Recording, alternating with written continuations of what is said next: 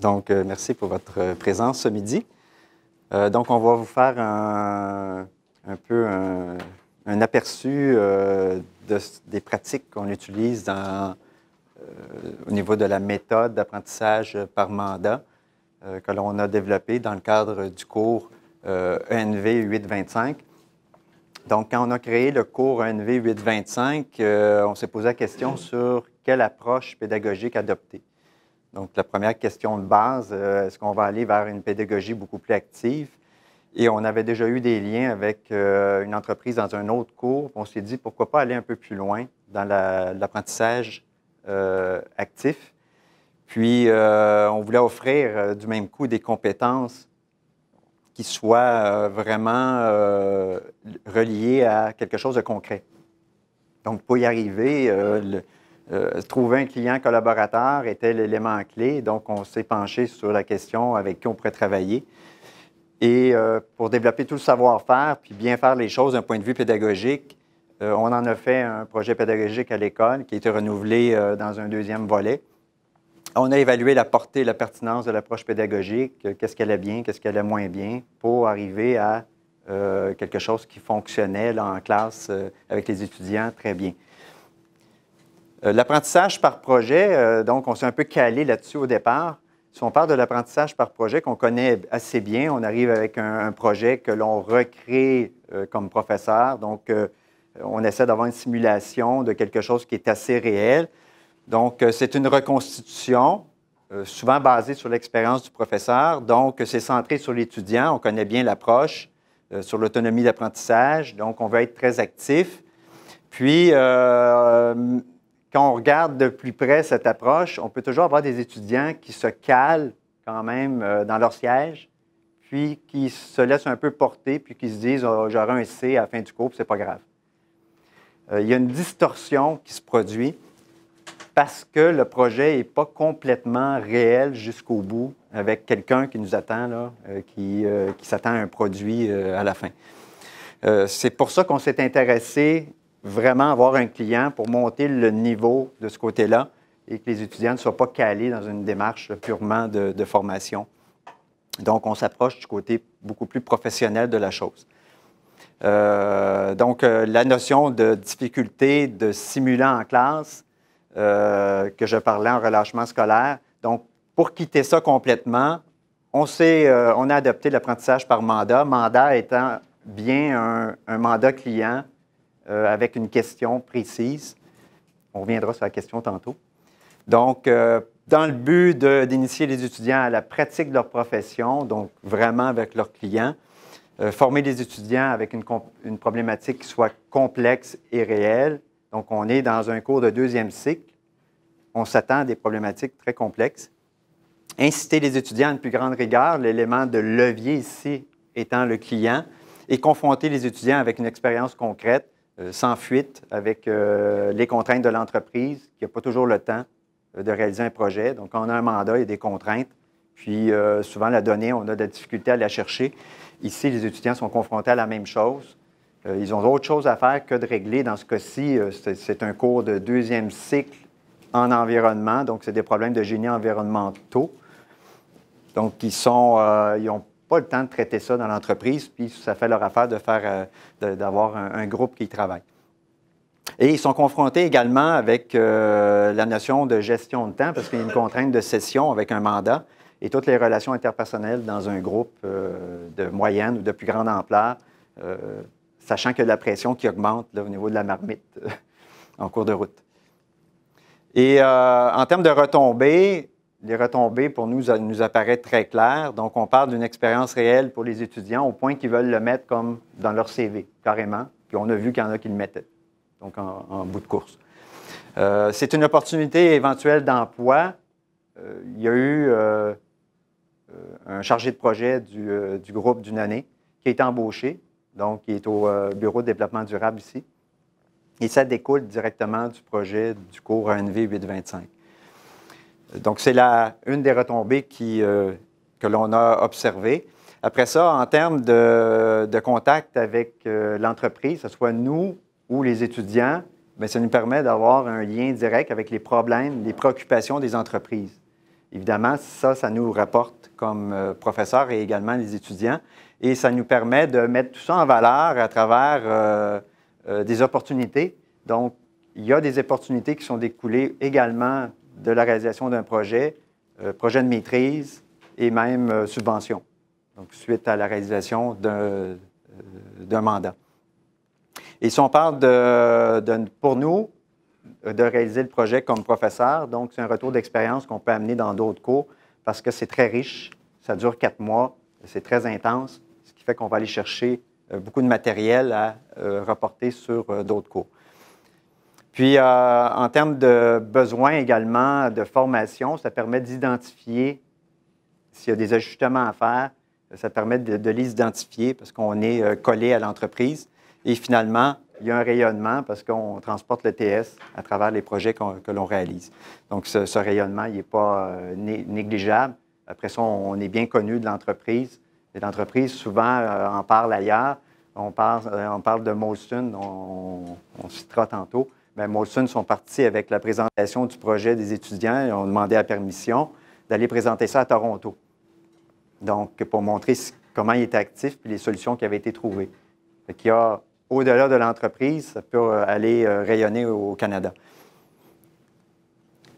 Donc, je cède la parole à Mathias qui va vous parler euh, plus en détail des étapes de l'apprentissage par mandat. Donc, c'est ça, c'est qu'on était parti d'un concept au départ, puis on s'est dit, bien, si on doit le formaliser, comment on peut le formaliser? Parce que c'est un petit peu différent d'un, on va dire, plan de cours standard. L'idée, c'est qu'il y a un travail qui se fait passablement en amont.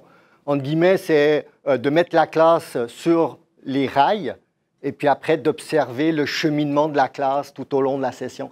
Donc il y a vraiment tout un travail de préparation euh, initiale. Donc on va passer à travers les, trois étapes, hein. donc préparation initiale, mise en contexte, et puis la réalisation. Euh, euh, somme toute, qui est toute la partie qui se fait au cours de la session. Donc, pendant cette préparation initiale, il y a vraiment la notion de, des objectifs du cours. Bon, on, les a vus, mais ça devient important de, les, de bien les formaliser également quand au moment où on est dans la classe vis-à-vis des étudiants, que les étudiants comprennent euh, quelle est la spécificité du cours, puis quel est le cheminement auquel euh, ils vont devoir adhérer. Alors, l'étape d'après, euh, c'est la recherche d'un client collaborateur. Donc ça, c'est notre travail de l'automne, généralement. parce que, et à chaque automne, on remet le, métier sur l'ouvrage, c'est qu'il faut qu'on trouve un client collaborateur. Et depuis 2007, euh, de la, première année, donc on va atteindre euh, le, la 7e, 8e. Euh, on a repris qu'une seule fois un même client collaborateur. Donc, on a toujours pu aller chercher des nouveaux, des nouveaux partenaires. On va les regarder, hein, on va vous les présenter. L'idée, c'est qu'on a quand même des contraintes à les choisir. et au-delà de la spécificité des activités de l'entreprise, il y a quand même une question un peu logistique. C'est que si on prenait une entreprise à Trois-Rivières ou à Québec, euh, c'est euh, à toute fin pratique pour possible de, faire ça dans le cadre d'un cours. Donc, euh, il y a quand même un, cheminement pour aller chercher des, clients collaborateurs qui sont dans, une, région relativement proche. par la suite, la deuxième étape, c'est de définir la problématique à laquelle on veut confronter la classe, donc les étudiants. Et on a mis mandat en guillemets parce que l'étape euh, dans la préparation initiale, ça n'est pas de définir le mandat en tant que tel. Il y a tout un processus fait par les étudiants, par le groupe cours, pour définir le mandat plus précisément euh, qui est aussi un processus itératif. Hein. La, première, l'élément euh, plutôt définition de la problématique, c'est un peu la, question générale qu'on formalise et qu'on va venir présenter aux étudiants lors de la première ou la deuxième réunion en classe, de manière à cerner ou mettre des balises, puis à l'intérieur de lesquelles ils vont pouvoir s'amuser. Euh, il peut y avoir une définition pardon, de, cadre contractuel avec l'entreprise. Euh, en particulier, ça va être sur, par exemple, des données confidentielles. donc, euh, les étudiants peuvent être amenés à signer une entente de, de confidentialité, juste parce qu'à un moment donné, s'il y a une visite dans une usine, ils peuvent être en contact avec des éléments confidentiels, donc qui sont assujettis au terme. Et euh, bien sûr qu'il y a un travail fait par les deux professeurs euh, à adapter le plan de cours euh, session par session en fonction de, de, la mission qu'on va se donner. donc, à partir de là, on passe à la mise en contexte. non, pardon, excusez-moi. le client, donc juste aborder cette notion de client collaborateur. Donc, je vais vous les présenter un petit peu sous la forme de, des entreprises qu'on a choisies. Vous verrez qu'il y a autant du public que du privé comme client collaborateur. Et on a eu la première année, la ville de Montréal et la station d'épuration plus spécifiquement, où il y avait une question. Et donc, ça avait, ça avait regroupé une classe de sept étudiants, que vraiment le minimum qu'on a eu. Euh, donc, le, cet, étudiant, c'était la plus petite classe. L'année passée, on est, on est, monté à 29. Hein. Donc, on a également, en termes de volume d'étudiants dans la classe, à faire collaborer ensemble une grande variation. Donc, la première année, c'était sur une question d'eau. La deuxième année, on est passé chez Molson en 2008 où là, on était également sur une question de rejet à l'égout. Donc, on était également sur des eaux usées. Euh, on va revenir à Molson puisque c'est l'entreprise qu'on a repris par la suite. En 2009, euh, ben, en fait, notre client collaborateur, c'était l'ETS. Et en 2009, ça a porté sur toute la question des matières résiduelles euh, dans l'école, qui a conduit en fait à tout l'aspect de collecte sélective, du fait qu'on n'a plus de poubelles dans les classes, alors qu'on en avait avant. Euh, et puis qui a conduit également à toutes les filières euh, de traitement des matières résiduelles euh, en, aval. En 2009, on est retourné chez Molson parce qu'ils avaient été satisfaits du travail, enfin satisfaits aussi parce que c'est une pépinière d'idées hein, qui émerge de, du travail des étudiants et puis que ça leur avait euh, permis de, résoudre des problèmes. Donc en 2010, euh, on est retourné chez Molson, mais bien sûr sur une autre question qui était plus euh, une question de, matière, matière résiduelle. En 2011, on est allé dans un hôpital, donc avec toute la question que ça peut comporter d'un point de vue sécurité. Donc bien évidemment, là, les, étudiants ont été confrontés à des limites euh, d'accès à des lieux dans l'hôpital ou voire même à, pouvoir manipuler des, euh, euh, matières.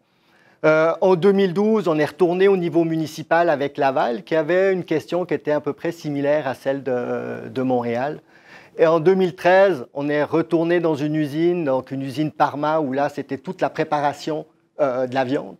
Okay et donc, euh, il y avait euh, des questions, euh, non seulement, oui, de, déchets ou de, processus, mais il y avait toute une normalisation très spécifique associée à l'industrie qui a obligé les étudiants à se, à se mettre dans ce contexte-là.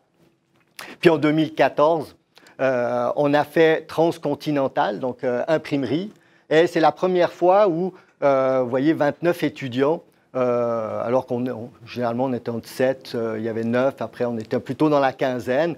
Donc 29 étudiants et on a eu la chance, parce que ce n'était pas planifié au départ, c'est que Transcontinental avait une problématique récurrente dans trois usines. Donc, euh, en fait, ça tombait bien. Avec 29 étudiants, on a pu faire des équipes distinctes avec euh, une capacité d'intervention, d'audit dans les usines euh, qui était euh, spécifique. Le tout, tout l'enjeu était d'être capable de ramener les spécificités dans un rapport final unique à la fin pour le responsable environnement de, l'entreprise. Juste, juste intervenir sur un, point. Le choix du client, c'est un point quand même critique. Nous, on va cibler un client qui correspond en termes de profil à ce qu'on veut faire. Donc, il y a de la complexité dans chacun. Euh, au niveau des interventions. Transcontinental, c'est corporativement le plus gros client qu'on a eu. Il y a 29 usines au Canada, c'est le plus grand imprimeur. Donc, il y avait un beau défi pour 29 étudiants. Mais comment ça marche? Comment, quand on les contacte, comment ça se passe? Donc, moi, j'explique euh, en long un courriel, à, quoi consiste le cours. Puis, euh, souvent, ça les surprend un petit peu. En fait, ça les intéresse. Puis, à chaque fois qu'on est allé les rencontrer ensemble, la, rencontre dure que moins d'une heure, puis euh, c'est bon. ça se passe très spontanément. Et ce qui est le prérequis fondamental, sinon ça ne marcherait pas, c'est leur complicité dans la démarche. S'ils ne sont pas complices, on oublie ça. Et il y a une particularité très forte, c'est qu'on leur dit très bien qu'au début janvier, quand le cours commence, on n'a plus jamais de contact avec eux comme professeur plus aucun contact et c'est seulement avec le groupe étudiant. Donc, sinon, c'est un point de fuite. Et ils acceptent d'emblée. Donc, c'est une notion vraiment de complicité et de fonctionnement, euh, d'accepter le fonctionnement. On leur explique c'est quoi les contraintes. On leur explique maintenant de travailler en amont, de cumuler des données en amont pour éviter de se faire investir par, euh, par des étudiants qui demandent de l'information. Mais on viendra comment, comment les étudiants communiquent avec eux. Oui, ça, c'est un, élément qui est, très important au niveau de, euh, de la mise en place du processus qu'on va mettre en, euh, ben, qu'on présente en classe et qu'on demande à ce que les étudiants suivent. Et euh, je dirais qu'on l'a un petit peu raffiné au fur et à mesure des années. Et ça a permis justement d'asseoir une façon de faire que les étudiants sont face aux vrais problèmes associés à la communication, par exemple, avec euh, le partenaire. Et à chaque fois, alors c'est étonnant, autant euh, euh, les, les, clients collaborateurs ont des identités différentes, que ce soit du public ou du privé. Tous les clients collaborateurs, passé la surprise de la présentation, adhèrent à ce processus-là. La principale préoccupation, c'est de ne pas être submergé par des courriels, par des téléphones, par 10, 15 étudiants. Et comme on va le voir, ben, on met en place un processus qui fait que non, professionnellement, euh, c'est pas tout le monde tire à la corde, mais qu'il y a bien une organisation qui doit se, mettre en place euh, dans la classe. Donc, euh, le deuxième aspect, c'est la définition de la problématique. Donc, j'en ai parlé un tout petit peu avant. Donc, pour donner des exemples de problèmes, hein, juste dans lesquels on, formalise la question qu'on présente à la première rencontre aux étudiants. Par exemple, est-il possible et réaliste d'implanter un traitement biologique à la station d'épuration? Donc, on comprendra que c'est une des deux villes qui avait eu ce genre de, de questionnement-là et que derrière, ben, ça suggère un certain nombre d'itérations avant de formaliser de façon plus spécifique euh, le mandat. Mais c'est un travail qui est repris après par euh, les étudiants. Un autre, quelles actions peuvent être entreprises et priorisées en matière de gestion des matières résiduelles? Bon, Un aspect qui avait été euh, traité à l'ETS. Et un autre, un troisième comme exemple, comment les contraintes associées à la, à la génération des déchets industriels peuvent être-elles réduites, voire éliminées? Donc, on a formalisé sous forme de questions qui amènent après les étudiants à itérer et à formaliser. Donc, euh, on verra après que les étudiants sont amenés à présenter euh, ne serait-ce que leur mandat devant le client. Et donc, ça les oblige à formaliser sur quoi ils veulent travailler et puis de s'assurer que c'est bien un élément que le client veut voir être traité. Donc la deuxième étape, qui est la mise en contexte euh, et qui se fait en classe, donc c'est la première rencontre où euh, ce qu'on veut, c'est euh, mettre le, décor au cours parce que, bon, par exemple, il y a une année on s'est retrouvé dans une classe où c'était des tables arrimées au sol. On a demandé à pouvoir changer de classe parce que ce qu'on veut, c'est qu'on soit plus dans un, un échange entre professeurs devant puis étudiants qui écoutent, mais bien dans une dynamique où euh, c'est la classe qui prend en charge le cours et donc de pouvoir aménager la classe comme, euh, on le désire. Euh, l'année passée, avec 29 étudiants, ils avaient trouvé une configuration assez, assez géniale dans la classe pour disposer les tables et faire un immense arc de cercle de manière à pouvoir tous se regarder, de manière à ne pas être les uns derrière les autres. Euh, donc, euh, quand on arrive en mise en contexte, on est en présentation du cours devant les étudiants. Alors, bien évidemment, on fait une introduction à l'APM et les, quelques acétates qu'on présente, on, les réutilise souvent euh, pour présenter la, démarche auprès des étudiants. On présente le mandat. et donc, à travers le mandat, ce qu'on présente aux étudiants, c'est le client, mais le client par à peu près sa raison sociale et c'est à peu près tout. Euh, ce qu'on veut, c'est que les étudiants s'approprient après le cheminement, à savoir à qui ils ont affaire. Euh, la problématique, comme on l'a vu tout à l'heure, qui est plutôt sous forme de questions, et les objectifs associés au livrable et le plan de cours euh, qui, en découle. par la suite, bien évidemment, il s'agit de cibler les enseignements associés à la théorie complémentaire. Donc, souvent, on, préparait des capsules avec Frédéric. Hein, donc, euh, et on se posait toujours la question à quel moment ou à quel point il faut fournir des documents d'appui pour que les étudiants soient capables euh, de cheminer dans leur euh, processus. ce qu'on a pris comme démarche, c'est vraiment qu'il fallait que le besoin en théorie complémentaire ou en enseignement complémentaire soit formalisé par les étudiants et non pas qu'on l'amène de façon beaucoup plus classique. Et l'autre question, en fait, qui, a surgi au fur et à mesure des, années, c'est que ça se fait par des présentations magistrales, mais brèves, donc ça peut être une demi-heure, ça peut être trois quarts d'heure. mais finalement, ce qu'on s'est aperçu, c'est que oui, nous, on pouvait les donner, mais que dans la classe, il y avait aussi des gens qui étaient capables de s'approprier des connaissances très spécifiques et donc entre eux d'avoir un processus d'auto-formation par les étudiants. Et donc l'année passée, on a eu par exemple un chimiste euh, qui, faisait le cours et qui a pu amener une notion de chimie très spécifique sur des éléments associés à la problématique qu'il traitait. Et donc il s'est approprié la notion de la capsule qu'il venait donner. Ça a eu un effet euh, euh, très intéressant. C'était plus du tout un professeur, c'était quelqu'un de leur groupe qui venait amener cet élément supplémentaire. L'étape, la vraie, le, vrai fun, en fait, pour, nous aussi, c'est toute la, démarche de réalisation du mandat. Hein. Donc, il y a les étapes préparatoires qui, euh, et, c'est sûr qu'on on tire tout de suite la sonnette d'alarme ce qu'on ne veut pas, c'est que les étudiants, le lendemain de la première séance, appellent le client. C'est pas vrai. Le client, généralement, le premier contact étudiant-client va se faire deux semaines après ou même à la troisième semaine du cours. Pourquoi? Parce que si vous appelez, ce qu'on leur amène hein, comme information, mais c'est que si on appelle le client et on leur dit qu'est-ce que vous voulez, euh, le client, au bout d'un moment, il va dire regarde, moi, ce n'est pas à moi de travailler, j'attends de votre part un cheminement. Et donc l'idée, c'est qu'il y a tout un travail préparatoire à euh, analyser le mandat, euh, comprendre les besoins du client, s'attribuer des rôles également dans la classe. On verra un petit peu plus, un peu plus tard ces rôles-là.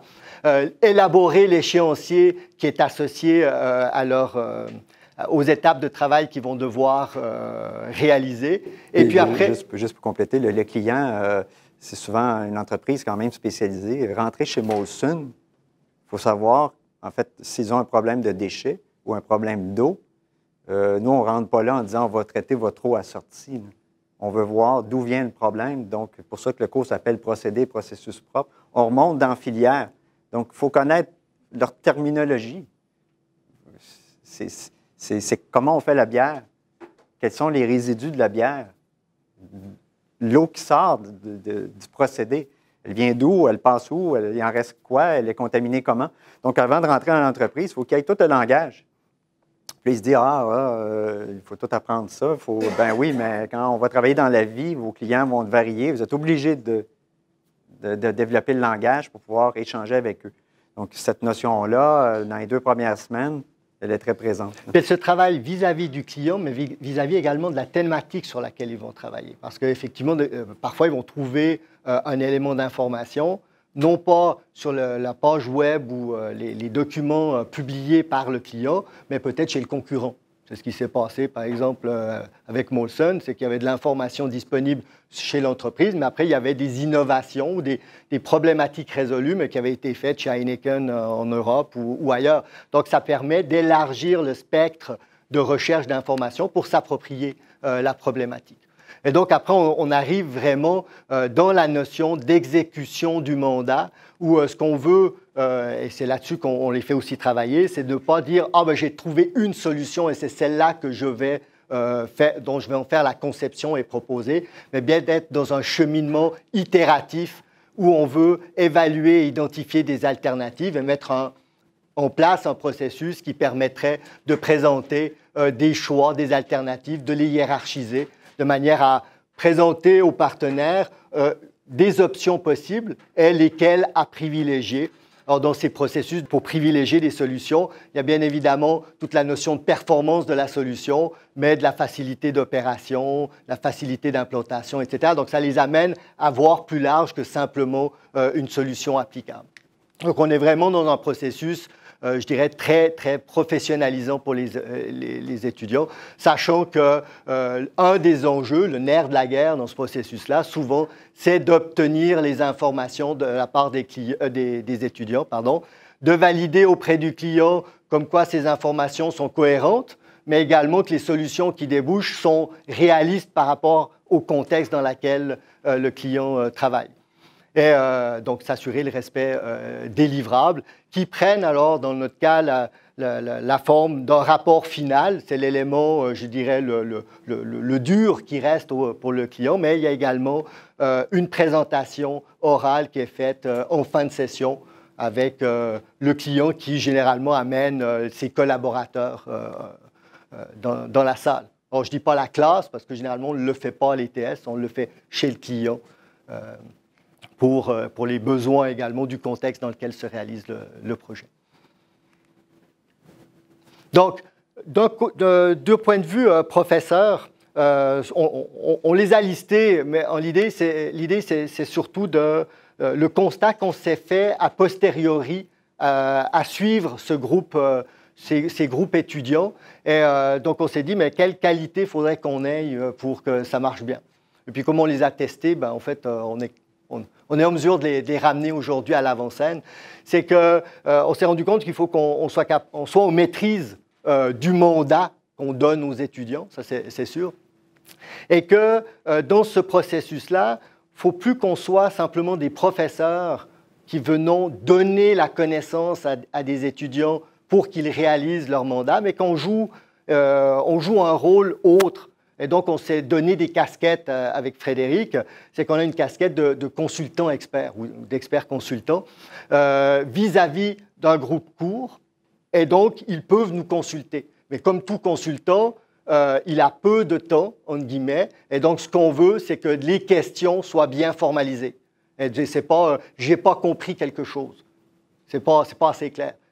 On veut que la, formalisation du besoin soit précise de manière à ce qu'on puisse intervenir aux besoins pour répondre euh, aux attentes. Alors, ça peut être de la classe, mais ça peut être de un, deux ou d'un groupe, d'un sous-groupe d'étudiants. Euh, alors, c'est sûr qu'on s'appuie aussi sur nos forces. Alors, on a un avantage, c'est qu'on est pas mal complémentaires. Euh, le cours s'appelle Procédé et processus propre. Alors, on est les deux propres, mais Frédéric est plutôt procédé, et puis je suis un peu plus processus de par nos activités aussi en recherche. Donc, on a cette complémentarité également dans le cours où, bah, à force, on, se comprend à mi-mot, hein. mais en même temps, on est capable d'apporter des spécificités par rapport aux besoins de la classe. Et euh, c'est sûr que ce qu'on essaye, c'est d'éviter, ben, tout au long du processus, on, évite que le groupe se perde et donc d'amener, non pas forcément la réponse, mais les outils pour qu'ils trouvent la réponse. Euh, capacité d'écoute et de diligence, de jugement, je vous dirais que c'est un cours qui est extrêmement exigeant et pourtant on parle quasiment pas. C'est qu'on est dans la classe, on est un peu en retrait, on écoute comment se déroule, on fait des interventions quand on sent que c'est euh, qu'il y a une nécessité, soit parce que la question reste en suspens, puis qu'il y a, le, groupe a tendance à se perdre euh, dans son propre raisonnement, euh, donc c'est extrêmement exigeant et même quand on voit où le groupe devrait aller, il faut qu'on se raisonne pour se dire non, on se tait, on laisse aller parce qu'il y a tout un processus de maturation et ce n'est pas nécessairement en répondant rapidement à des petites questions qu'on fait que le groupe a la maturité d'aller efficacement à la fin. Dans, le cadre de, de, notre travail, ici, on travaille en équipe, donc on a une demi-charge chacun. On est présent à toutes les séances, on est assis un à côté de l'autre physiquement.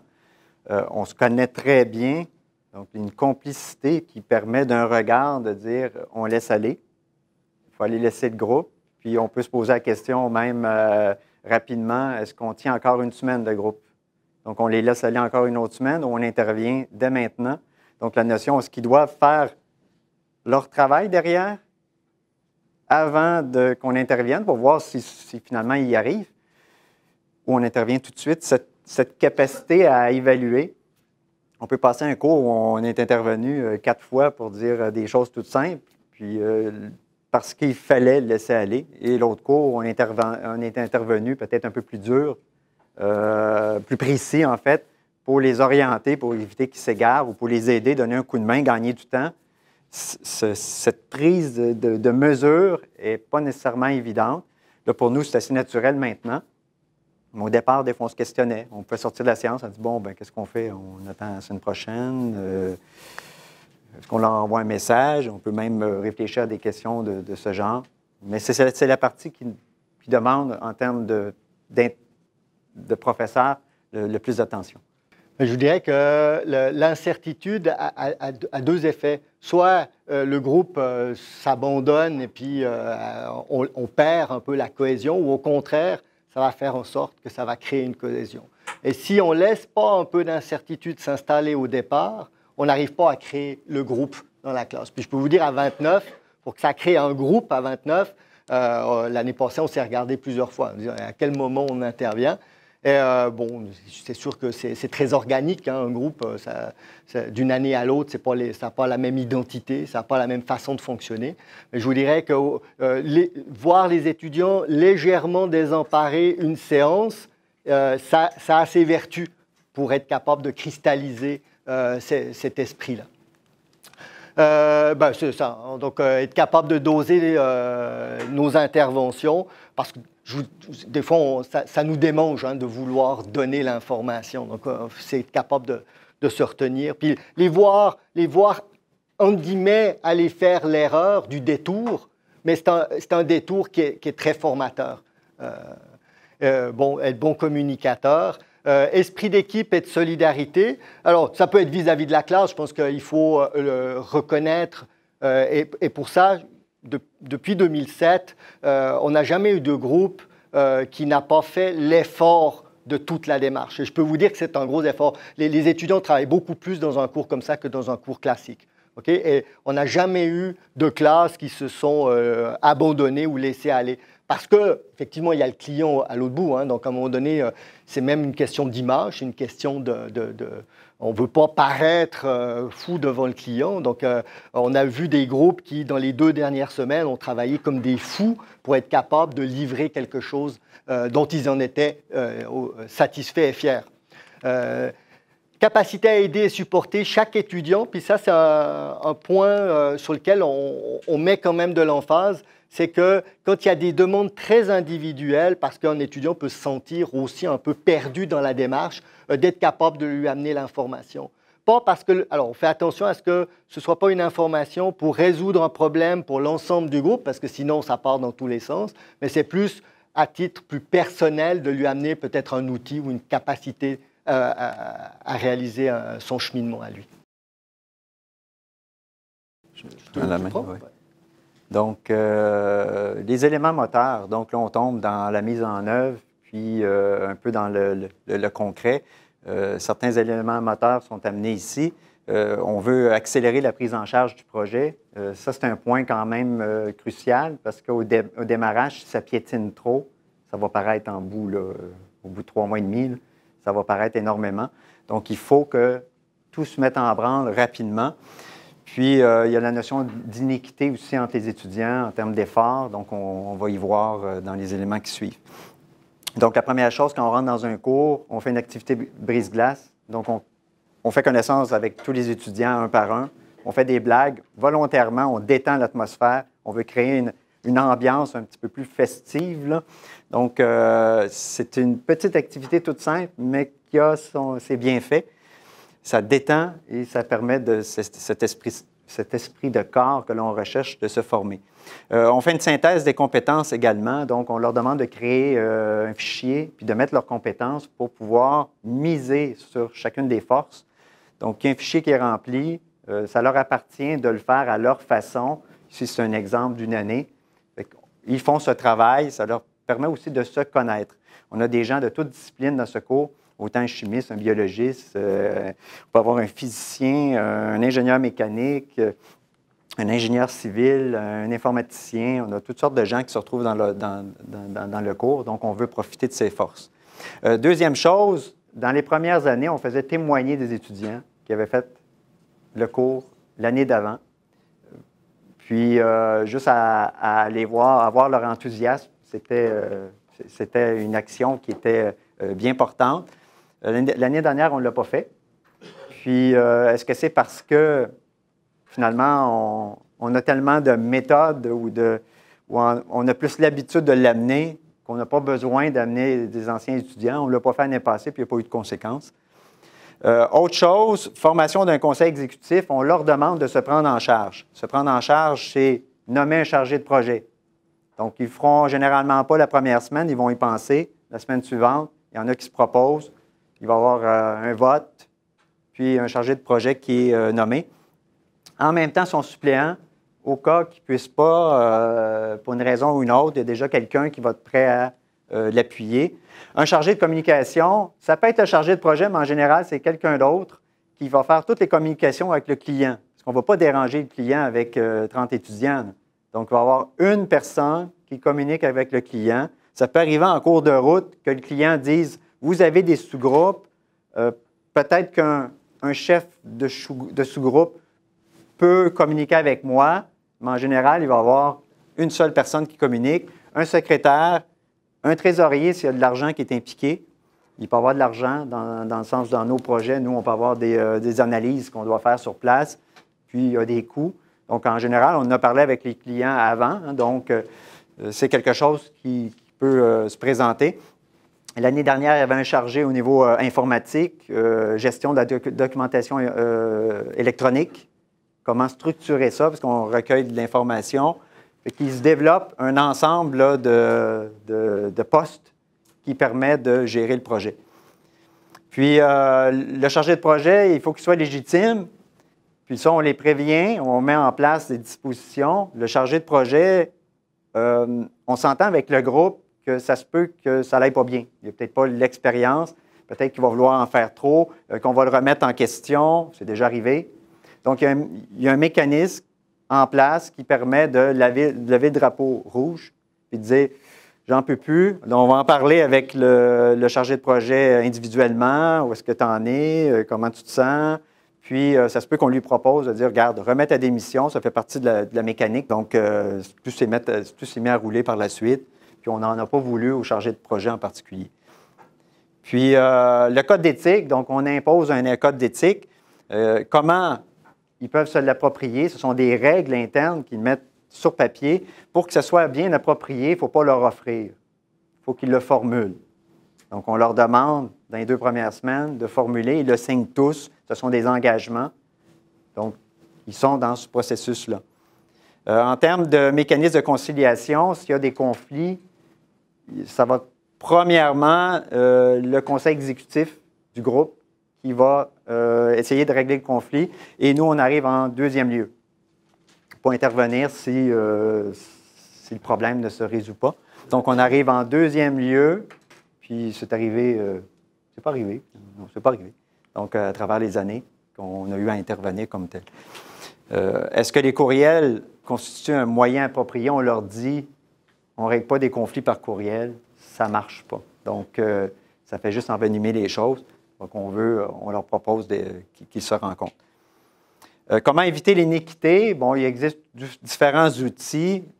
Donc, il y a une note commune sur les travaux communs. Donc, comment on fait pour euh, rendre ça un peu plus équitable? Bon, on a utilisé une formule qui est un peu en amont de ce qui se développait ici au moment où on l'a fait. Puis il y a d'autres, euh, outils qui ont été développés par la suite. Donc, on module la pondération. On a, un système de pondération. Donc, les étudiants s'évaluent entre eux. Puis, on a une grille qu'on leur fait parvenir. Et la particularité de la pondération ici, et on y tenait, c'est le système de pointe de tarte. Ça veut dire que euh, lorsqu'on met une note sur un travail, nous, on met notre note, on ne réfléchit pas, c'est une modulation par les étudiants par la suite, euh, qui est leur évaluation respective entre eux. Euh, on leur donne finalement au groupe étudiant chacun 100 points. Donc, ils ont 100 points qu'ils peuvent partager. Donc, ils peuvent garder leurs 100 points, ils peuvent même s'enlever des points. Donc, euh, je m'enlève 10 points, mais si je m'enlève, il faut que je les donne. Donc, je peux donner à deux étudiants 5 points chacun pour leur mérite, et ainsi de suite. Donc, ils peuvent enlever à un, mais il faut qu'ils redonnent à l'autre. Donc, ce qui fait que si on 100 points chacun, puis ils sont 12, mais ça fait 1200 au total. Puis le total est toujours le même. Donc, ils se partagent. D'où ça vient? C'est un étudiant qui était euh, très impliqué dans le projet et qui, en cours de route, a laissé tomber le groupe, puis il dit Je veux donner mes points. Est-ce que je peux donner mes points? Je n'ai pas participé à la hauteur de ce que je voulais. On a dit, on ne peut pas. On n'a pas de mécanique pour donner des points aux autres. L'année suivante, on a créé le, système de partage de tartes, euh, finalement. Et on limite la modulation. Pour l'instant, on a toujours modulé de maximum euh, donner 80 euh, minimum 80% à, un de vos collègues, jusqu'à 120% Donc, c'est très méritant. Ce qui fait qu'on compile tout ça, puis on arrive avec euh, une moyenne de toutes les évaluations des étudiants. Et s'ils font un changement, ils doivent le justifier. Ils ne peuvent pas changer sans justifier. Il faut qu'ils mettent un justificatif. Et euh, ils peuvent consulter par la suite les justificatifs, mais c'est anonyme. Donc, un système de compilation, c'est complètement anonyme. Ah oui, OK, OK, OK. Bon. Et comment ça varie? on peut se retrouver avec des gens qui sont montés jusqu'à 114, 115% l'année dernière. C'est plus haut que ça a monté. Donc, la note qu'on a mis fois 115% et le plus bas, c'est 83% Donc, euh, un étudiant qui, s'est laissé porter, tout le monde l'a vu. bon, ben, il s'est fait, euh, rattraper par la suite qu'il y a des étudiants qui échouent le cours?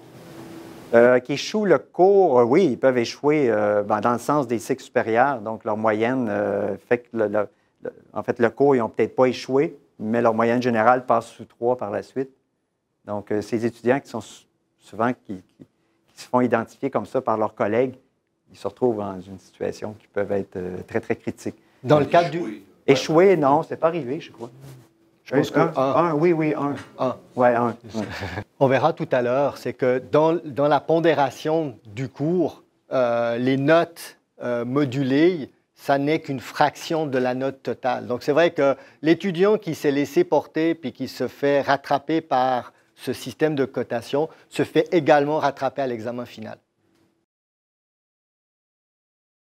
Donc, par la suite, euh, les modes de, travail en séance. Donc, on, leur dit euh, de prendre charge, évidemment, euh, du cours, mais en même temps, en séance hebdomadaire, il y a une préoccupation sur l'efficacité de la séance. On y revient tantôt un peu plus loin. Puis, euh, on leur fournit un canevas de rapport, on leur euh, indique comment on écrit un rapport, le style d'écriture, l'uniformité qu'il doit y avoir. Euh, on, les prévient que ça se peut qu'il y ait un collègue qui fournit des paragraphes, puis que ça soit bafoué en cours de route, ça ne soit même pas utilisé, pas parce que c'est mal écrit, ça peut être parce que c'est mal écrit aussi, mais parce que ça devient non pertinent à la fin. Parce que le rapport, à un moment donné, cette partie-là, on ne la mettra pas. Donc, on prévient le coup pour pas qu'il y ait des étudiants frustrés par la suite. Puis, euh, on a créé un club étudiant. Donc, euh, s'il y a de l'argent qui est véhiculé, on le rentre dans le club. Donc, euh, il y a un compte ouvert. Puis, c'est une, manière plus facile de travailler. En termes de ventilation, c'est la ventilation qu'on a donnée dans notre cadre en particulier. Donc, le plan de travail détaillé qu'il nous propose environ à quatrième semaine, hein, environ, donc, euh, comprend les objectifs, la compréhension du mandat, une table des matières du, euh, rapport final et une proposition budgétaire s'il y a de l'argent en jeu, là, des données à aller chercher euh, chez le client. Donc, c'est une proposition qui va être déposée au client, puis il peut accepter ou non. Donc, il faut qu'il justifie bien. Et à ce moment-là, souvent, on, voit que ce n'est pas tout à fait clair, le mandat. Même après quatre semaines, des fois, ils se font souvent Oui, on, est très critique sur le premier. très, très critique. On arrive avec beaucoup de commentaires, puis c'est très utile. Euh, donc, la présentation orale intermédiaire, donc c'est pour valider hein, si le groupe travaille euh, bien dans le sens du client. Donc, c'est 0% Il présente devant le client, il n'y a aucune valeur. Euh, on n'a rien attribué à ça. la présentation orale devant le client, chez le client, c'est 10% Le rapport écrit remis au client, c'est 25% Le dossier documentaire, c'est un dossier qui cumule donc, l'information pertinente à la réalisation du mandat est mise, euh, compilée et nous, nous produisent et nous remettent à la fin euh, ce document qui doit être le plus bref possible et qu'ils partagent entre eux. Et ce partage euh, permet par la suite de se préparer à l'examen final. Donc, c'est ce qui a été utilisé. On ne demande pas une compréhension de détail du dossier documentaire parce qu'il y a vraiment des points précis parfois, mais une compréhension globale en vue de l'examen final. Participation individuelle, on se permet un 10% d'évaluation de chacun des individus qui ressemble souvent étrangement à l'évaluation par les pairs. Euh, on ne compare pas, euh, on ne regarde pas avant pour voir, euh, on constate après que souvent ça se ressemble. Puis l'examen oral final, ici, on, dans, la maîtrise et dans ce cours, il y a 40% en examen oral. Celui qui s'est laissé porter, ça le rattrape. Donc, au moment de l'examen. Donc, c'est un autre endroit où ça peut le rattraper. Puis, les notes qui sont pondérées par les étudiants, ça fait 35% Ce n'est pas énorme, mais ça fait du ménage dans, dans, le montage final des notes. À la euh, 35 ah, de la pondération, c'est sur 35% qu'on voit, le 25 et le 10. Oui, oui. C'est les, notes communes qu'ils ont. Si c'est la période des questions, je peux y aller? Bon, on n'avait pas fini. Peut-être qu'on va y répondre. Parce que je pense qu'on file, on va passer vite. Euh, quelques petites questions. Comment réagir? Que faire? Le chargé de projet en fait trop. Il veut tout contrôler. Le chargé de projet est contesté. Donc, on en parlait tantôt. Toute l'organisation qu'on a mis en, branle en début euh, de trimestre, ça sert justement à ça. Donc, euh, il y a le drapeau rouge qu'on parlait tantôt. Donc, il peut remettre ça sur la table. Il peut avoir un vote du groupe en disant non, non, on t'appuie pareil, c'est pas parfait, mais garde, tu fais le boulot. Donc, c'est avec tout ce qui est mis en place que ça permet d'y répondre. Donc, euh, comment réagir, que faire? Les séances hebdomadaires sont trop longues. Donc, euh, il faut promouvoir l'efficacité des séances. Donc, les séances, c'est un lieu où on, divise le travail et on prend des décisions. Donc, il faut que ça dure à peu près une heure et demie. L'autre heure et demie sert à euh, du travail interne dans les sous-équipes. Donc, il faut que ce soit cette formule-là. On ne veut pas une, séance qui va durer trois heures, que les étudiants contrôlent. Non, non, après une heure et demie, il faut euh, passer à autre chose. Cet élément, c'est certainement un des points les plus difficiles à faire passer euh, après la deuxième, troisième semaine. Parce que les étudiants ramènent de l'information devant la classe, mais n'ont pas la capacité de synthétiser. Donc, ils remettent toute l'information qu'ils ont trouvée euh, devant la classe et ça, dure et, ça, plus le groupe est gros, ben plus, on ça dure ouvertement, on verbalise euh, carrément. Regardez, la séance était trop longue aujourd'hui, visez une heure et demie la semaine prochaine.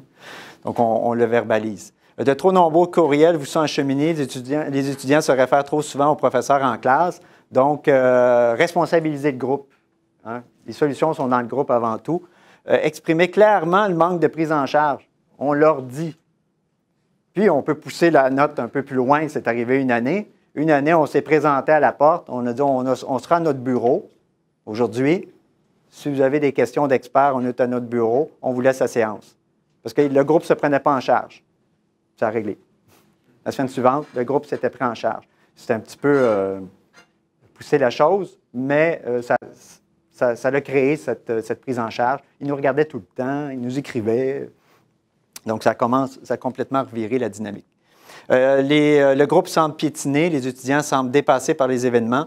Donc, aider, on est là comme euh, professeur, aider à la formalisation du mandat, des sous-mandats. Donc, les, les sous-équipes se forment. On est là pour aider, pour éviter que ça piétine, puis qu'il soit dépassé. Identifier vraiment les principes scientifiques derrière, questionner pour guider, lever des incertitudes, donc, c'est nos interventions qui permettent d'éviter là, que, euh, que ce genre de situation se, présente. Les étudiants réclament des connaissances des outils. Je passe vite. Donc, aider à la formalisation des besoins. Quelles connaissances vous voulez? Est-ce qu'on va faire une présentation, Mathias ou moi, ou les deux, ou peut-être que c'est les étudiants? L'année passée, c'est les étudiants qui ont fait leur séance. Ils arrivaient, pouf, 15 minutes, 20 minutes. Ils se faisaient des mini-séances très pointues. Il y a de l'expertise dans le groupe déjà. Euh, il y a plusieurs étudiants, donc euh, ils peuvent s'en servir. Euh, le rapport intermédiaire est plutôt faible, relève en apparence d'un ou deux étudiants. Le budget est mal ficelé. Le rapport préliminaire présente de nombreuses lacunes. Bien, nous, là, on a la responsabilité, quand il y a tout un groupe qui travaille comme ça, ils mettent tout l'effort, de le reviser très en détail. Donc, on y passe du temps, puis il faut pouvoir réagir souvent rapidement parce qu'ils ont des contraintes de temps. Donc, on leur fait un retour en classe, on leur laisse, on leur laisse toutes nos euh, annotations, on, leur suggère des choses.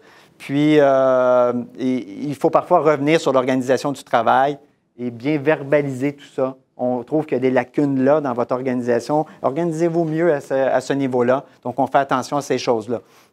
Et je vais juste revenir sur un point, c'est que c'est très délicat. Hein. Puis on est là, parce qu'ils ont souvent travaillé très fort et puis le livrable n'est pas à la hauteur du travail qu'ils ont fait, puis il leur reste dix jours avant de remettre le rapport au client. Alors, c'est juste la façon de présenter, et ça passe aussi par la quantité d'informations qu'on est capable de leur ramener. Quand ils voient qu'on a mis l'effort de pas simplement porter un jugement, mais de ramener l'information, je pense que ça passe mieux, mais de leur dire que ce n'est pas de bonne facture ou que ce n'est pas suffisant euh, on sent qu'ils accusent le coup, mais il faut être capable de les relancer pour que la machine repasse. Oui, il faut, Ça- ouais, faut ça nous sentir un peu, ouais, faut sentir un peu le groupe où il en est dans sa capacité. euh, sont un peu, ils peuvent être un peu usés. Donc, mais ils sont déterminés, ils, ils vont devant le client.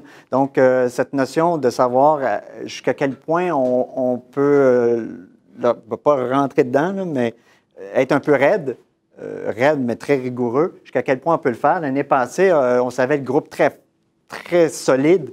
On leur a amené très, très, très franchement. Puis ça a super bien réagi. Une autre année, on serait peut- peut-être un peu retenu pour euh, les épargner un peu. Fait qu'il y a ce dosage, ce dosage psychologique qu'il faut avoir au moment. Dans, dans le sprint final, c'est tendu. là. Les données du client n'arrivent pas suffisamment rapidement. On leur dit, les données, quand ils vont arriver, vous allez faire quoi avec? Bien, préparer. Quand ils vont rentrer, pouf, ploc, ploc, ploc, on fait telle chose avec. Donc, il faut qu'ils soient prêts. Donc, ils peuvent travailler beaucoup en amont. Puis, ils peuvent même mettre un chiffre fictif, une valeur qui, qui pense que, puis ils font tout leur, euh, leur travail avec ça. Puis, quand elle se précise, bon, ils rentrent dans le système. Fait qu'il y a beaucoup de travail à faire là-dessus. Ils ne comprennent pas très bien au départ, mais une fois qu'ils comprennent, euh, ils sont un peu plus patients. Puis le client, il sait hein, qu'il y a une session pour faire euh, le projet. Donc, euh, la date d'échéance finale est proche, le groupe est nerveux, supporter, encourager. Là, on n'est pas là pour taper. Donc, leur exprimer la confiance, montrer où ils sont rendus, comment ils ont progressé. Donc, ça, c'est capital. Regardez où vous étiez maintenant, où vous vous êtes rendu. On est dans le petit droit final. Donc, être pleinement solidaire. hein, on a fait des révisions à 10 heures le soir euh, parce que c'était très serré. Il faut être dans le même jeu qu'eux, sinon euh, ils ne nous respecteront pas. Euh, donc, cette révision, cette assistance, aller, assister à leur présentation orale, leur faire des critiques, ça ne va pas, puis des fois même deux fois. Donc, être disponible, cette notion de disponibilité est, est très, très importante dans le dernier droit. Veiller à l'égarement dans le dernier droit. Euh, en d'autres mots, si une porte qui s'ouvre, la refermer, c'est plus le moment. Nous, on, le voit bien, mais on regarde, fermez ça. Mettez pas cette section. Le client, vous êtes déjà plus loin de ce qu'il en demande. Donc, fermez ça, vous allez pouvoir fermer le dossier. Comment réagir si euh, les étudiants forts se plaignent des étudiants faibles euh, ou il y a des susceptibilités vis-à-vis de l'écriture des autres? Regardez dans la vie, là, quand on travaille, on a toutes sortes de gens autour de nous, on a chacun nos forces. Exploitez ça, commencez pas à analyser tout en détail. Euh, donc, ça ressemble un peu à la vraie vie. Donc, allez de l'avant. Donc, on relativise les choses. Euh, donc, on misait sur les forces de chacun, puis prévenir les, difficultés d'écriture, j'en parlais tantôt. Donc, euh, la notion de que, ça se peut que le texte ne plaise pas. Donc, il y a une équipe de rédaction, normalement, qui va tout reprendre ça. Donc, il ne faut pas trop s'inquiéter. Puis, les constats, je ne sais pas si on a le temps. Oui? Il reste trois transparents. Donc, euh, la portée du projet est parfois difficile en termes d'écueil potentiel euh, si on ne connaît pas suffisamment le client. Donc, il y a toujours cet écueil. Nous, ça, se passe bien. On sait à quoi s'attendre, on le voit, euh, qu'est-ce qu'on peut faire avec le client. Mais je peux comprendre que peut-être dans d'autres contextes, c'est peut-être pas si simple.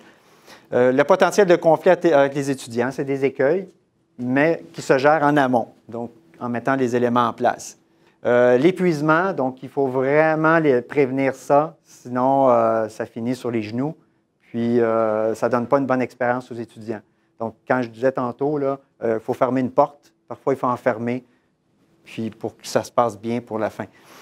Difficulté à répartir l'effort, on est bien meilleur, nous, pour que ça travaille du début jusqu'à la fin, qu'on travaille beaucoup en amont là, du sprint final. Donc, euh, c'est à, l'équipe de professeurs de, mettre en garde les étudiants vis-à-vis de toutes sortes de situations qui fait qu'ils attendent. Il ne faut pas attendre. Euh, la durée du trimestre et la valeur créditée du cours, on pourrait dire, est-ce que ça dépasse la valeur de trois crédits? N'a jamais eu de plainte. Euh, même, on a un rôle de comportement à l'examen oral final. Ce qui est vraiment curieux, on dirait qu'il n'y a plus aucun enjeu. C'est comme ils se présentent, puis quand ils l'ont livré la bataille, si on l'a livré, on doit avoir les, connaissances et la compétence. Ceux qui sont laissés porter, ben, ça va les rattraper. Mais euh, ceux qui ont fait leur travail, peut-être un va avoir plus haut que l'autre, mais ils ne sont pas en difficulté s'ils ont bien euh, ils ont été impliqués dans le projet. Mais c'est un drôle de, réaction. Ils arrivent, euh, souvent l'enjeu n'est pas du tout le, même. Ça a été vraiment avant que ça s'est passé. Difficile de compter les étudiants qui veulent en faire trop. Il y en a, là, pouf, à la fin. Donc, il oh, faut tirer sur les. pour les retenir parce qu'ils peuvent nuire au reste du groupe. Donc, il met à barre trop haute. Là. Wow. Donc, euh, pour prévenir, il faut essayer d'identifier ces gens-là. En termes de force, niveau de motivation et d'autonomie, ça c'est très clair. On n'a pas besoin de les pousser. Euh, investissement plus important dans la démarche d'apprentissage. Euh, ils s'approprient le projet, ils veulent vraiment ne pas décevoir le client. Donc, l'exigence de qualité, le standard de qualité, le levier, là, il est complètement là. nous, on n'a pas à, faire quoi que ce soit là-dessus, ça se fait tout seul. Le contrôle de qualité naturellement assuré par les étudiants. Bon, c'est un peu redondant. Sentiment d'accomplissement professionnel, quand on disait qu'ils veulent le mettre dans le CV, ce n'est pas, pas, une blague. Ils le mettent parce que c'est un accomplissement euh, important. Euh, la qualité de l'expérience de travail, on a traversé la barrière, ils vont chez le client, ils ne vont jamais en passant nombreux chez le client. C'est des sous-équipes spécialisées qui peuvent se présenter. S'ils traitent de l'énergie, ils vont avoir une équipe énergie, ils vont aller à trois, peut-être quatre. Il va souvent avoir un élément commun entre les équipes, donc toujours quelqu'un qui est présent tout le temps pour que le client reconnaisse une personne commune à chacune des équipes.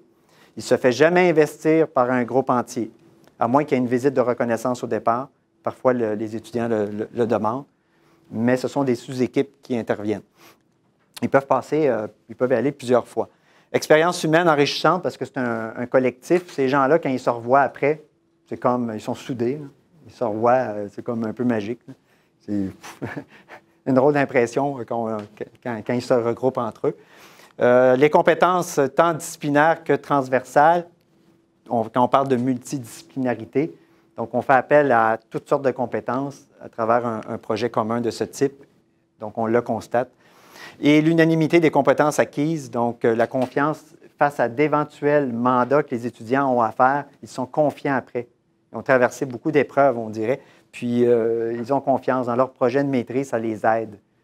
regarde, on est arrivé au bout une fois, je sais comment ça marche, donc ça facilite leur travail par la suite. Puis si on parle d'appréciation, donc euh, ils apprécient l'efficacité et la pertinence de l'approche. Je pense qu'ils ne seraient pas heureux de le faire dans tous les cours. Ils le font une fois, puis nous, on est d'accord aussi, dans le programme, une fois, c'est suffisant. Puis euh, ça serait euh, inapproprié d'aller plus loin, à notre avis, selon l'impression aussi qu'on a des étudiants. donc l'autonomie, donc ils sont très fiers de leur autonomie.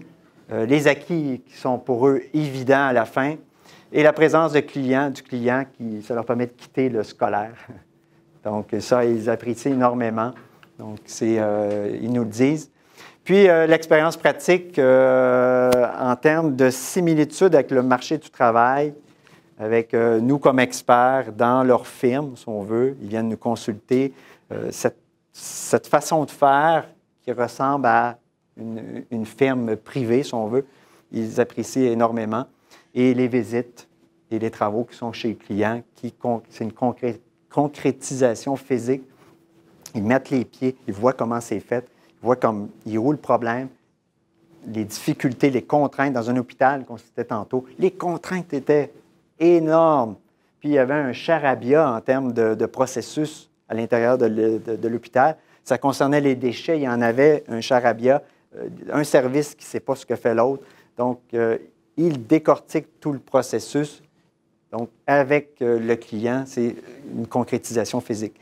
Et la relation client, comme source de motivation, il l'apprécie énormément également. Avec la pression. Hein. à la fin, quand ils font l'oral, ils se regardent, bon, mais qui va faire l'oral? Puis il y a de la pression sur l'oral. Donc, ils vont se présenter à deux, à trois pour représenter le groupe. Donc, c'est quelque chose d'important, cet événement. Puis, je vois Eric ici qui a participé à la démarche en 2009, si je ne m'abuse. Donc, il y a toute euh, cette, pression. Et parfois, il peut y avoir représentation. Donc, présentation à nouveau au niveau de l'école ici. Ça a été représenté à la direction par la suite. Donc, une équipe qui est remontée, de le représenter une deuxième fois. Puis, euh, en conclusion, ben, euh, lorsqu'on essaie d'un petit peu de schématiser comment ça fonctionne, on a pu tracer ce, schéma qui montre un peu euh, ce qui en ressort. Donc, euh, entre le client et les étudiants, un, enrich- un enrichissement professionnel. Entre étudiants et professeurs, enrichissement pédagogique, pour nous, évident. C'est un peu un cours bonbon euh, qui nous fait beaucoup plaisir à donner. On, est tous excités qu'eux au départ de se lancer dans la chose. On est fébrile, en fait. Donc, on a notre client cet hiver. On est fébrile, on a hâte de faire le projet. Ça, c'est très intéressant. Puis, entre le professeur et le client, il y a un enri- un enrichissement collaboratif qui a eu des, euh, vraiment des gains euh, qui, euh, qui sont sortis de l'après-cours. Donc, ça peut même actualiser notre expertise, donc en plus du réseautage. Donc, puis les étudiants, bon, initiation à la pratique, c'est une vitrine professionnelle pour l'entreprise également. Euh, on a un chargé de projet qui est chez Transcontinental, donc qui, euh, est engagé là-bas, euh, qui, est le responsable environnement. Donc, il y a, toutes sortes d'éléments qui s'installent, ou de retombées qui, s'installent par la suite. Puis, évaluation des compétences, évidemment, nous, on va jouer notre rôle. Puis, des apprentissages très transversaux à travers toute la démarche qui, en ressort. Donc, ça complète le midi.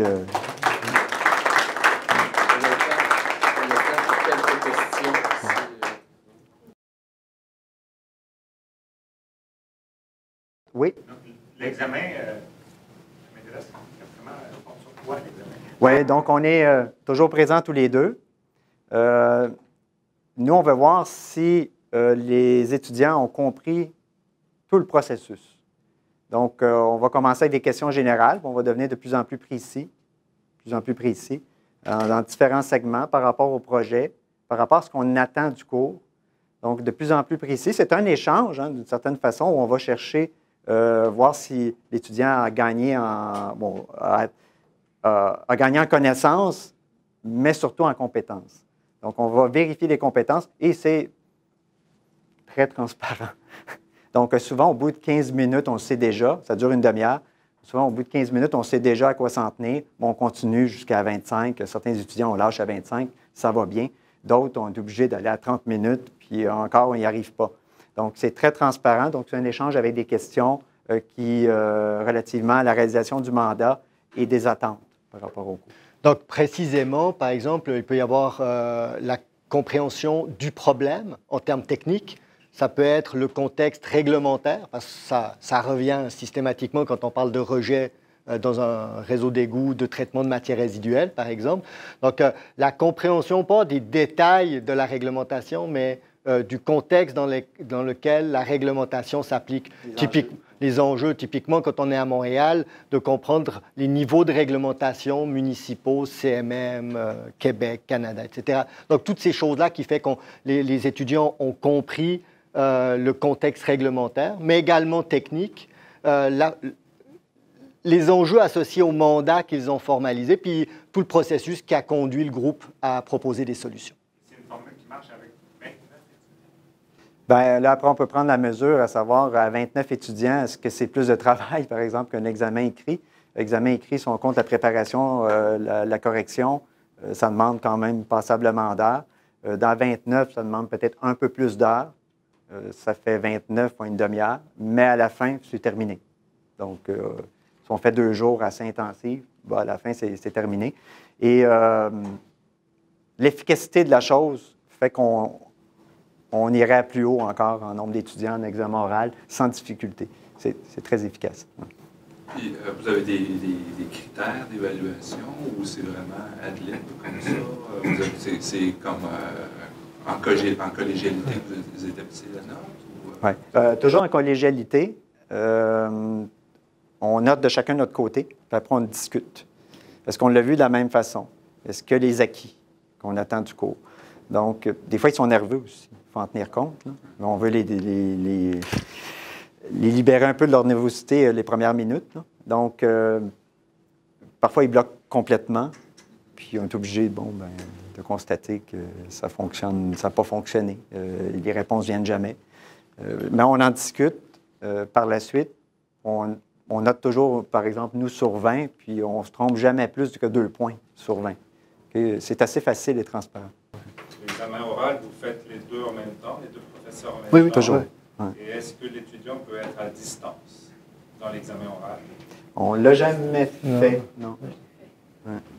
On pourrait. Il y, a, il y a une chose qui est difficile à distance, euh, c'est que le contact visuel n'est pas le même. Et puis à l'examen oral, pour mettre en confiance un étudiant, euh, le fait de l'avoir en face et puis de le rassurer, parce que, euh, et, c'est spécial hein, parce que les meilleurs étudiants, c'est ceux qui sont les plus tendus à l'examen oral. Et euh, ça a été jusqu'à avoir des larmes aux yeux et tout, alors que l'examen était très bien réussi, hein, mais c'est juste la, nervosité. Et le, contact, là, permet de, de, rassurer.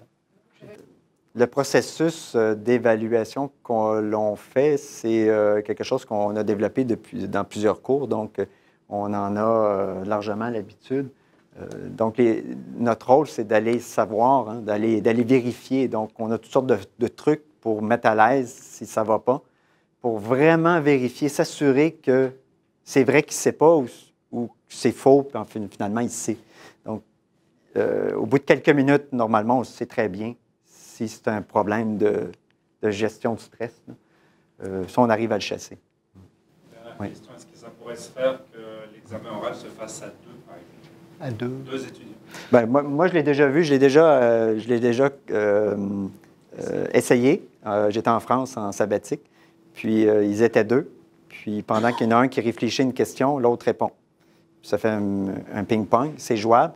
Euh, dans le cadre ici, on va quand même vérifier 40% Je trouve qu'à 40 ça mérite. euh, Il faut faire attention que individuel, de- ouais. de- ça reste une évaluation individuelle, puis on y tient parce que justement, tout le travail qui est fait aussi en amont, euh, si l'étudiant qui participe un peu moins, ben, il faut que ça, ça se paye, entre guillemets, à, l'examen final. Puis il n'y a pas de lien, de lien direct entre, euh, par exemple, le comportement, euh, absolument direct, le comportement dans un cours. L'année passée, on a eu une étudiante qui était, euh, qui était pas à l'aise à parler en grand groupe, puis, mais qui était très active dans sa sous-équipe, très, très active. En fait, on leur dit de rien échapper du processus. Elle n'a rien échappé. L'examen final, ça a été formidable. Par contre, dans l'évaluation dans les pairs, ça, ça peut être mitigé. Son équipe l'a bien évalué. Le reste du groupe ben, avait une perception de non-participation. Donc, elle s'en est tirée pareil, mais euh, elle a été euh, vraiment formidable au niveau de sa compréhension. Ben, c'est ça au niveau encore de l'examen final. Ça m'intrigue. Puis D'ailleurs, ça beaucoup de place. Oui. Euh, euh, L'étudiant, c'est ça, euh, se fait évaluer. Euh, Est-ce qu'il y a une forme de. de- quand l'étudiant reçoit sa note, ben, il y a une mauvaise note, est-ce qu'il y a un feedback qui lui est donné par rapport à la note qui a été donnée, comment il peut s'améliorer, comment vous procédez? Ben, il n'y a pas de feedback formel à la demande. Nous, on a nos notes, on est toujours deux. Donc, euh, certains étudiants nous en reparlent. Donc, ils viennent, euh, puis où on leur donne un feedback, on les revoit en disant euh, Regarde, je vois Ahmed derrière qui, qui en a subi. Euh, donc, euh, qui, euh, en fait, on leur dit euh, Regarde dans ton examen telle chose que euh, tu peux améliorer. Euh, juste au niveau de ta gestion, par exemple, puis au niveau de tes connaissances ou tes compétences, regarde, il y a eu un manque là, puis euh, ça, ça aurait dû être acquis. Donc, on peut, euh, c'est à la pièce, mais c'est pas C'est formel. pas systématique. Non, non. Oui. Est-ce que vous avez des préoccupations parfois des étudiants ou des plaintes des étudiants une forme de consultation? Oui.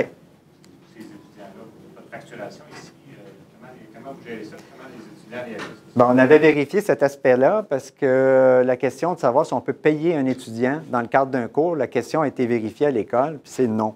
Donc, on ne peut pas payer un étudiant. Fait qu'on le dit tout de suite, dès le départ, vous ne serez pas payé. Par contre, on peut payer vos collègues qui ne sont pas dans le cours. S'il y a, par exemple, des analyses en laboratoire à faire, ben là, vous pouvez engager de vos collègues, mais pas dans le cadre du cours. Donc, c'est comme ça qu'on... Vous qu'on- savez que les étudiants sont satisfaits de ça? Tout à fait. Non, Et c'est formalisé dès le début. C'est- c'est- C'est la règle du jeu. Oui. Euh, J'ai deux questions, je ferai des petits commentaires si vous me permettez, en espérant que ce n'est pas trop long pour les autres.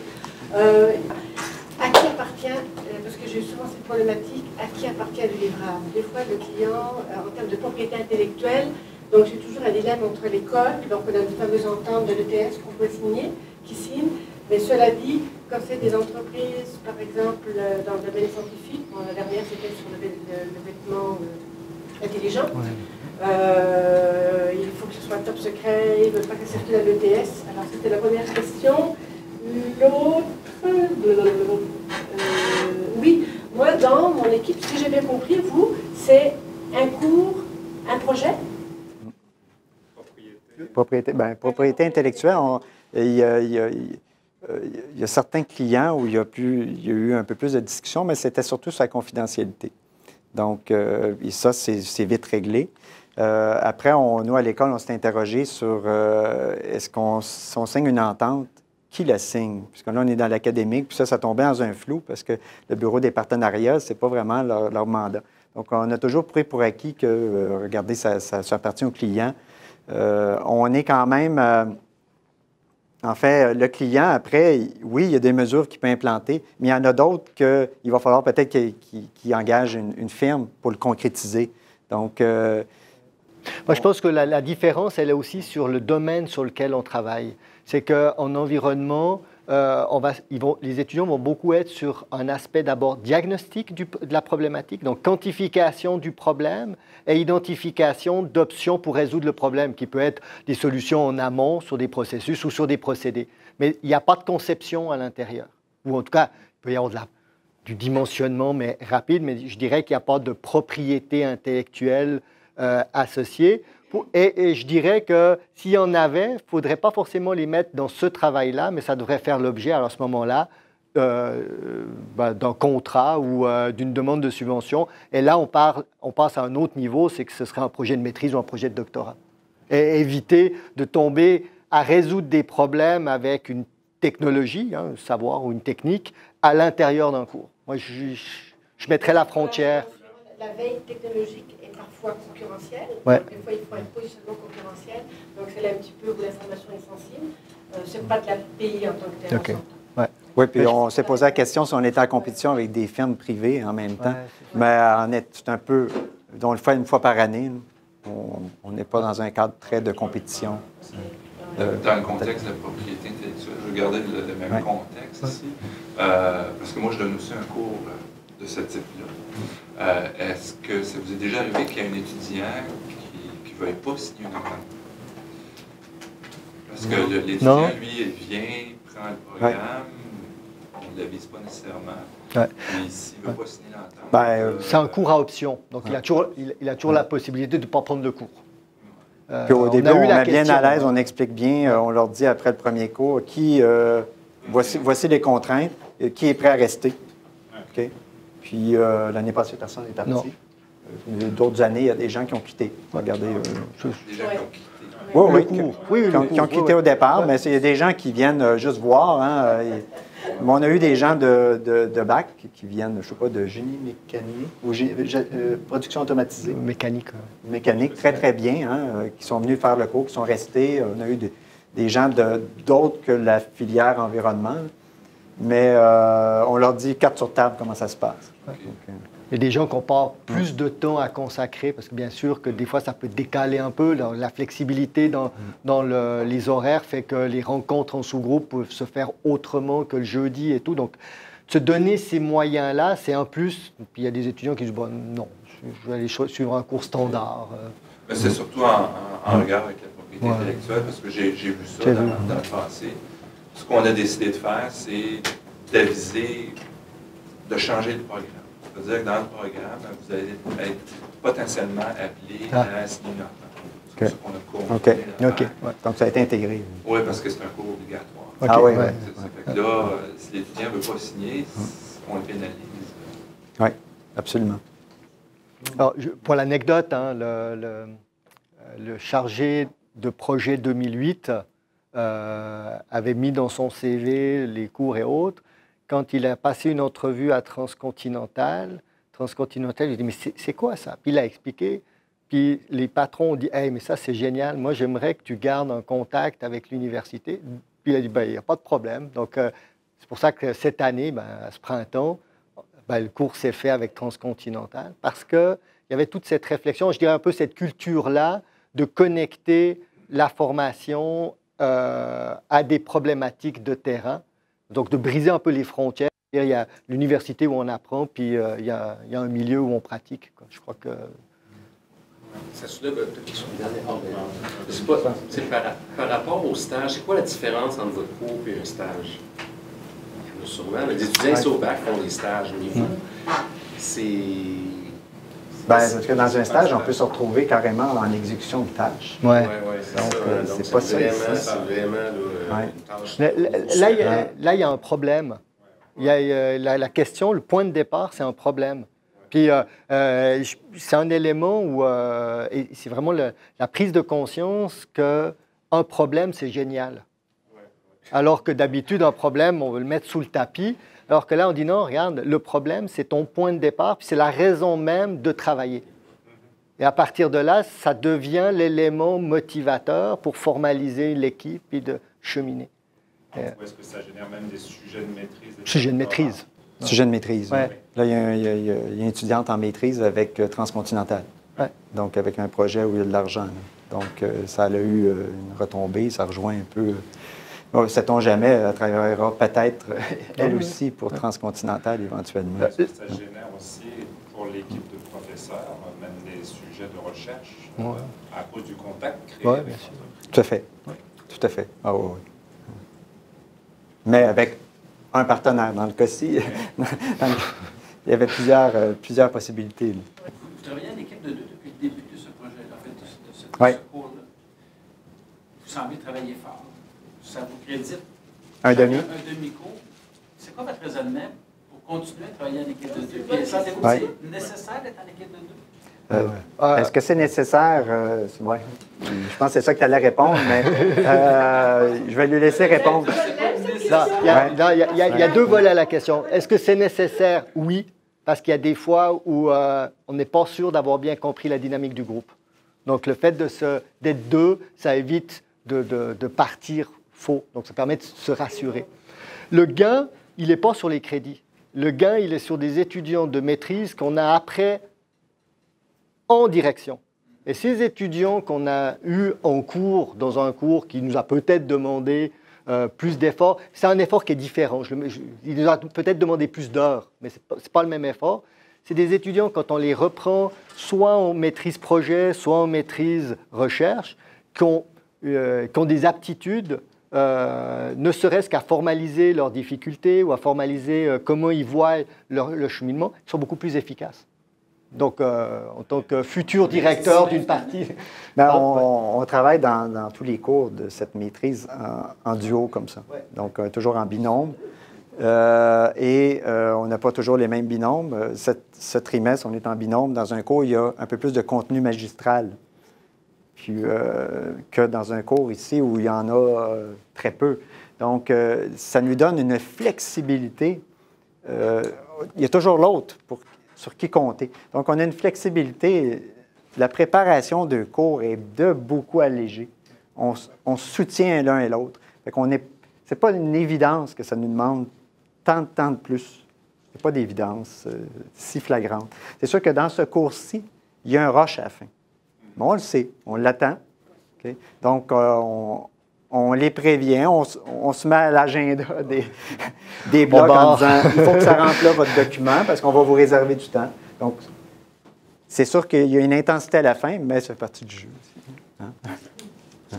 Merci encore. Merci beaucoup. C'est rien.